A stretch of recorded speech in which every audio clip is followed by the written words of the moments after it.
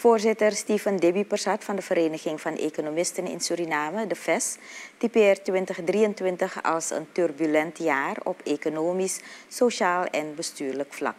Het jaar begon al met de introductie van de BTW-belasting op 1 januari 2023, waarbij de tarieven voor brandstof omhoog gingen en naar later bleek bedrijven niet goed voorbereid waren op de introductie van de nieuwe belastingheffing.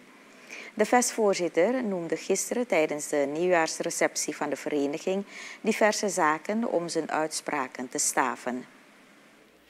Um, en het kwam omdat de inflatieverwachting door uh, het IMF en de centrale bank niet overeenkomstig was met uh, de, de, wat mensen daadwerkelijk aanvoelden. Het IMF ging namelijk uit van een inflatie voor 2023 van 30 procent. En met de stand van vandaag zien we dat de jaar 1 inflatie waarschijnlijk boven de 40 procent is uitgekomen. Op sociaal gebied was het leven een, is 2023 een heel duur jaar geworden.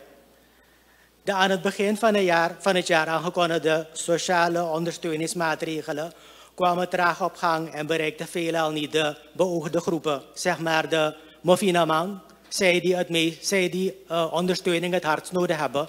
Feitelijk omdat we niet exact weten waar in Suriname deze groepen zitten. Maar ook op bestuurlijk uh, gebied. Um, de benodigde cohesie binnen de coalitie is broos. Dat is geen geheim.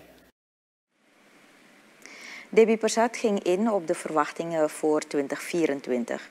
Vanuit de regering is reeds de aankondiging gekomen dat zowel de salarissen van ambtenaren als de sociale steun zullen worden verhoogd, wat uiteraard zal doorwerken naar de overheidsuitgaven.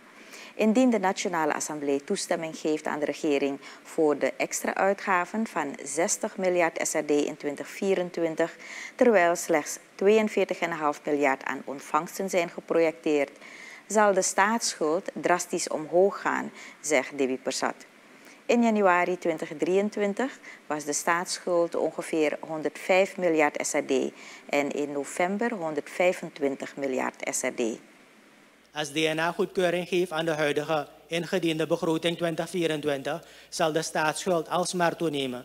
Met andere woorden, de regering schuift een schuldenproblematiek door naar de volgende regering. En dus de volgende generatie eigenlijk. Per 1 januari van dit jaar is brandstof um, opnieuw omhoog geschoten. Maar lijkt ook de cambio-koers, die in december nog zo mooi was gezakt, um, weer omhoog te klimmen. Zijn we als land daadwerkelijk voornemens om meer en duurzaam te gaan produceren? En wanneer? Maar vooral ook op welke manier? Laten we leren van ons buurland Guyana. Nu moeten we beginnen om zaken serieus te organiseren. De VES-voorzitter riep aan het eind van zijn betoog Surinamers op de handen in elkaar te slaan om te werken aan een mooier en sterker Suriname, zoals de wens is uitgesproken sinds de onafhankelijkheid.